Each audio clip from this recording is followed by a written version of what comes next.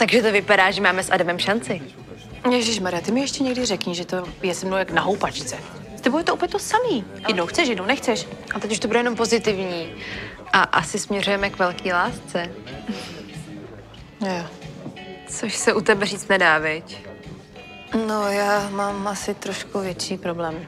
A to jaký? Já jsem rozbila Mařenku. Já jsem chtěla nějak zakrýt ten trapas se soudcem a tak jsem Marka políbila. To si děláš srandu? No, bohužel nedělám. On právě od té doby tak na mě divně kouká. Prostě je rozbitej. Je rozbitej. A co budeš dělat? To nevím, ale vím, co budeš dělat ty. Hm? A jo, ty mi totiž pomůžeš. Dneska tady na mě počkáš a domů budeme spolu. Já Marka potřebuji odstínit. A jak to bude trvat dlouho? Dva bloky písniček. No tak jo. Fajn, tak jo. Lukáši.